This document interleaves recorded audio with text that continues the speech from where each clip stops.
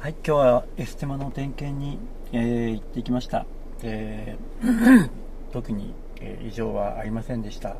えー、来月のですね、えーと、車検に向けて、えーと、事前に確認してもらったんですけど、あの特段あの、もうこれ交換しないとダメとかですね、あの消耗したパーツはなかったので良かったです。えっ、ー、と、あとですね、あのリアバンパー、交換することになりました。リアバンパーなんで交換するかっていうと、めちゃくちゃたくさん傷がありまして、あのー、修理の値段に関しまして、あの、店員の際に確認したんですけど、あの、一箇所、なんかあの、細かくボツボツぶつけた傷がたくさんありましてあのそれが広範囲にわたってるんですね。で20センチくらいの単位でここからここまででいくらここからここまででいくらみたいな感じであの修理の方計算代金の方を計算するみたいで、えっと、トータルすると買い替え新品のカラードのパーツを変えた方が安くなるということが分かったので今回交換してもらうことにしました。なので、えー、来月から、えー、来月、えー、この隙間には新しいバンパー新品のバンパーが、えー、つくことになります。あとですねあと今回の作業は、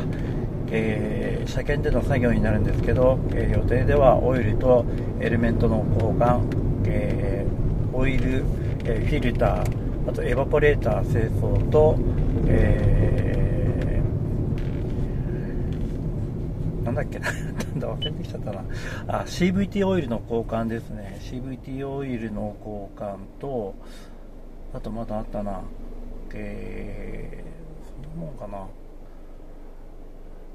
プラグ等の交換はないです。えっ、ー、とブレーキフィフィフィブレーキフルードの交換もえー、今回行います、えー、ブレーキフルードの交換は、えーと、ちょっとブレーキエアカミの、えーと、症状が若干あるんですね。ブレーキを強く踏み込むとなんかトコって感じであの変な違和感が、えー、ブレーキを踏み込んだ時に強く踏み込んだ時に限って出るんでちょっとエアカミしてる可能性もあるということであのまあもともと交換時期でもあったということでちょうどいいあのタイミングだったのかなと思ってます。でパッドに関してはあのもう交換してそんなに経ってないんで、えー、交換しません。えー、これだけの作業、えー、バンパー交換合わせて、えー、まあ、10あ22、23万になるのかな？の、え車検の、え費用となります。まあ、これで、まあ、長くまたこれ、まあ、乗っていけたらいいなと思ってます。タイヤに関してはですね、まだ全然大丈夫でした。あのまあ、この車通常家族が運転してるんで私と違ってあのたくさん乗らないんであのすごくあの長持ちしてくれてあと状態もすごくいいみたいなので良かったです。ではこのまま帰宅していきたいと思います、まあ、私がこのエスティマを運転する機会ってあんまりないんで今日は久しぶりに エスティマに乗れてすごく嬉しいです。まあ、内装もとても綺麗ですし、あのー、ハンドルもめくれはないです。あとシフトノブに関しても、えー、めくれもないし、あの、状態としてはかなり綺麗だと思います。でトヨタに行って思ったんですけどあのトヨタの従業員の方々が結構入れ替えがあったみたいで私の担当者も変わってしまいました。なんか随分トン担当者は結構ベテランベテランの、まあ、年齢帯の方だったんですけどあのその方を急にお辞めになってしまって新しい方になってしまったのでなんか今までずっとあの僕の車の、ま面倒を見てくれてた人が急に辞めちゃう辞めていなくなっちゃうっていうのはすごく寂しいなって感じました、まあ、今日はですね新しい担当者の方と初めて会ってですね、まあ、自分の車のあの状況とかあの、まあ、これまでの、まこの車のメンテナンスの経緯とか簡単にまあ、データで、あのおさらいすれば分かるんでしょうけど簡単に説明差し上げてあと、まあ、簡単なコミュニケーションをとってですね今後仲良く、あの接して、えー、お付き合いさせていただきたいなと思ってます。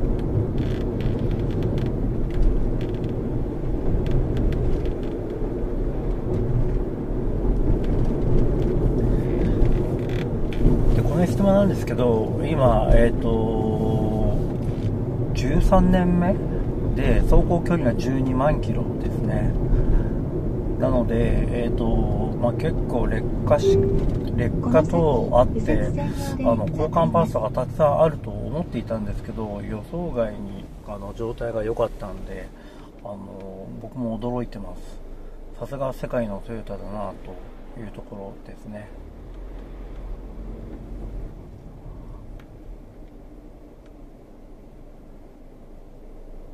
消防車が飛ばしちゃってますね。何かあったんでしょうか。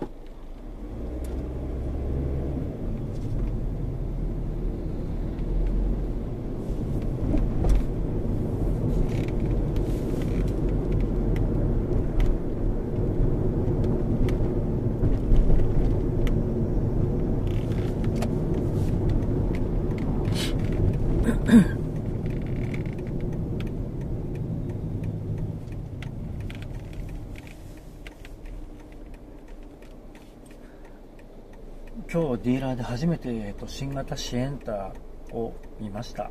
えー、なかなかかわらかわいらしい、えー、車だなという印象が強かったです。まあ展示してあった車は赤なんですけどあのー、まあ、使い勝手良さそうな車だな。あのまあ、大きさもコンパクトでしかもスライドドアなんでねあのすごく使いやすいんじゃないかなと思います。将来このエスティマ、えー、買い替えとかそういうタイミングになったらああいう車が、まあ、家族が運転するのでああいう車がいいのかなって思ってます。それまでこのエスティマには頑張ってこの元気に、えー、走ってってもらいたいなと思ってます。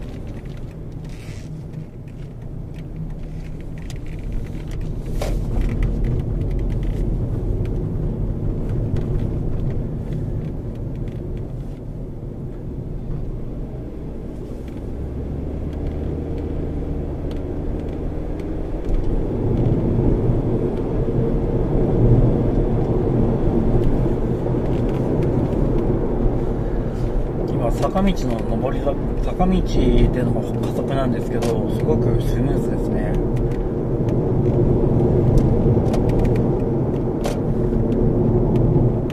やっぱりエスティマはとても運転しやすいですね。あの RX と比べてやっぱりボンネットがないからか。な前が RX は長いんでちょっと運転しにくい視界が開けててあの視野がいいっていう意味での運転のしやすさかもしれませんね。なんか久しぶりにエストマに乗ってみてああなんかすごく運転しやすいなってすごく感じます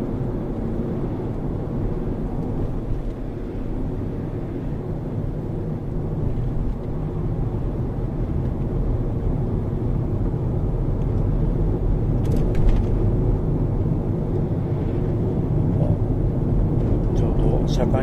えっ、と、オドメーターがフルになってますね。えっ、と、12万4000キロって書いてます。出てます。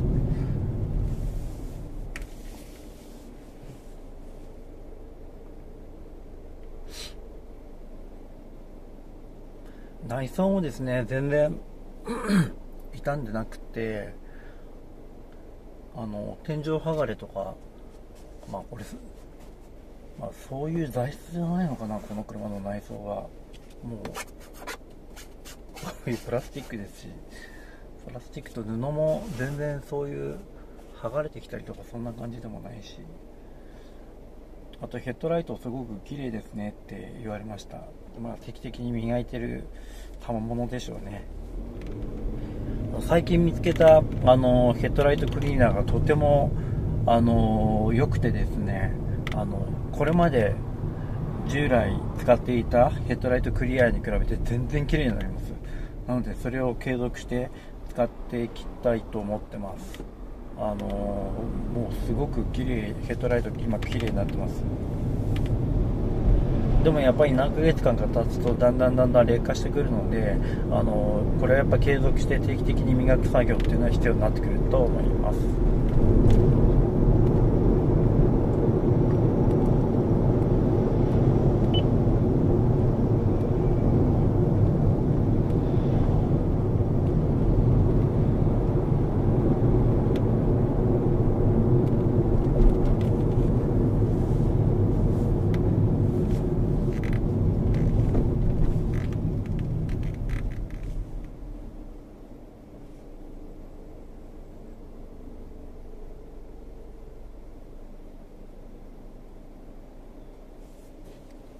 いやこのエスティマは本当に運転しやすいですしシートのポジションもすごくいいのかな。やっぱり視界がいいからそう感じるのかな。すいません。それから何回も何回も同じことを言ってしまうんですけど本当に運転しやすいです。しかも壊れないと。新しくあの今日お会いしたトヨタの新しい担当の方なんですけどもともと私と同じこの50系の質問乗ってたそうなんですがあのいろいろとあのまあ 2AZFE エンジンの欠陥とかですねあの詳しくってそこら辺で話で盛り上がっちゃいましたね。あの彼もやはりあの 2AZFE のですねあのエンジンオイルの、えー、不良っていうんですかねあの漏れてきて異常燃焼してしまうんでしたっけ？ちょっと私もあの細かくは覚えてないんですけどあのオーバーホールしたそうです彼も。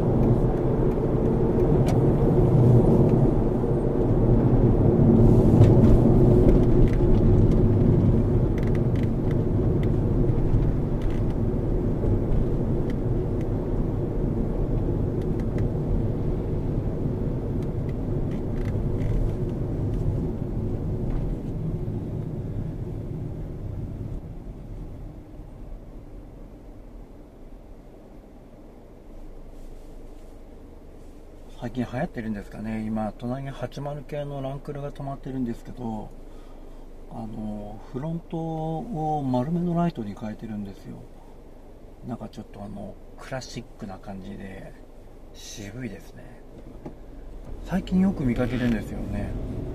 まあ、僕は オリジナルの80のあのヘッドライトが好きなんですけどあのなんか70ん60系なのかな？あのヘッドライトみたいな感じになってるんですよね。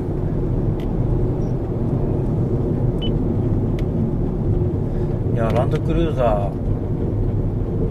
まあ一度は所有してみたかったですね。あの、とてもいい車だと思います、まあ、燃費はめちゃくちゃ悪いですけどあとでかすぎるっていうのもあるんですがでもやっぱりあのそういう強い車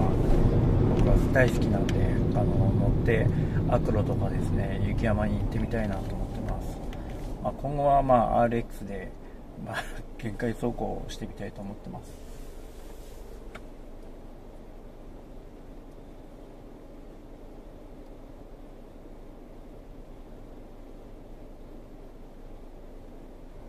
今ここは国道16号で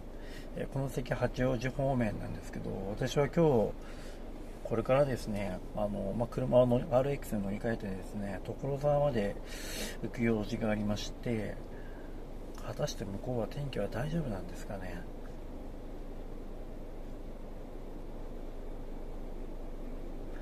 あ今日ですねトヨタのディーラーでクラウンのカタログをゲットしました。えっ、ー、とね、まだ本格的なカタログってわけでもないんですけど、あのー、まあ、新型のクラウンのセダンのタイプの、えー、カタログがトップ3ページくらいにわたって掲載されてて、で残りのページが歴代のクラウンの、あのカタログになってるんですね。なので、すごく貴重なカタログだなと思わずもらってきちゃいました。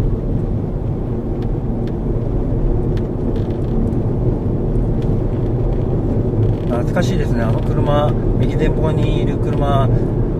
サニーですね。あれが最終型なのかな。もうずっと見な見なくなってましたね。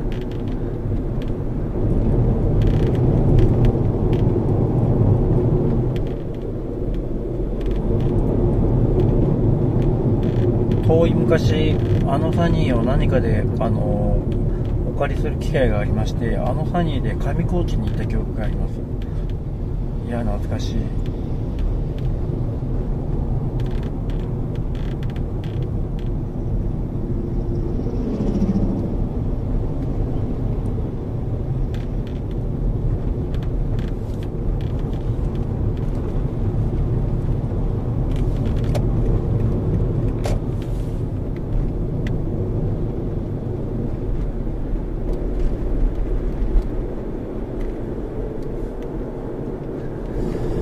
あと、コネステマなんですけど、あの、ホイールアライメントをですね、調整したいなって常々思ってまして、まあ、車検が終わって落ち着いたタイミングで、あの冬タイヤのシーズンになる前にアライメント調整に行きたいと思ってます。ちょっとね、あの走行してて、やっぱりなんとなくあのタイヤからのあの歪みの音っていうんですかね、あの感じるんですよ。で、あのまあさすがに12万キロ回してる車なんでそろそろあのアライメントの調整もしていきたいなと思ってます、まあ、RX もしっかりあの車もあの、まあ、機械を見てアライメント調整1回してしておきたいなとも思ってます。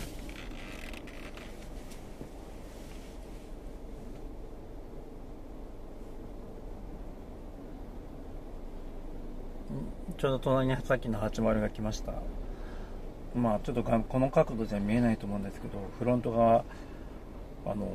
昔のランクルの顔に改造されてます。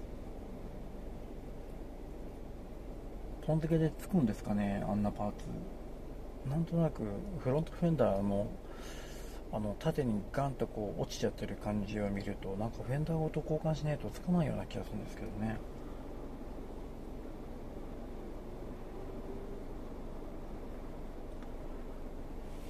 まあ今日はせっかくなんでちょっとこのステマで八王子バイパスフルに走って走り納めしておきたいなと思ってます。あちなみに車検なんですけど1泊2日です。で台車が、えー、パスとかイエリスが出るそうです。せっかくならイエリスの方がいいななんて思ってます。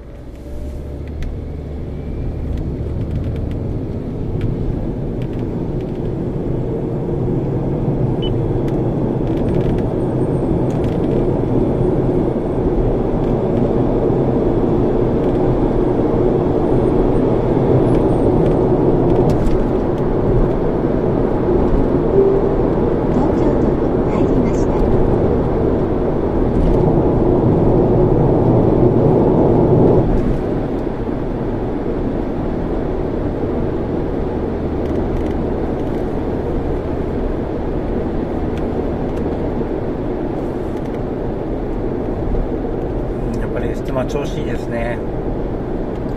快適に走ってくれます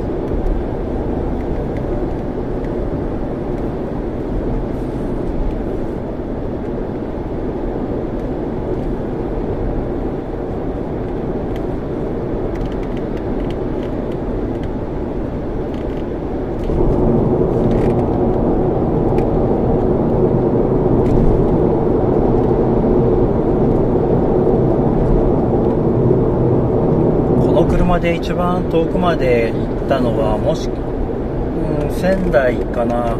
それから能登半島の先端までも行ったんですけどまあそのいずれかにが、えー、最長、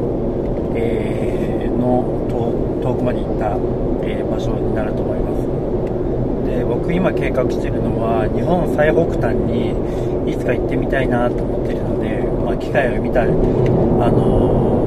まあ、RX になるんですけどあの行ってみたいなと思ってます、まあ、もちろんあの雪の季節はちょっと厳しいんであの、まあ、天気が落ち着いたタイミングの季節に行ってみたいなと思ってます。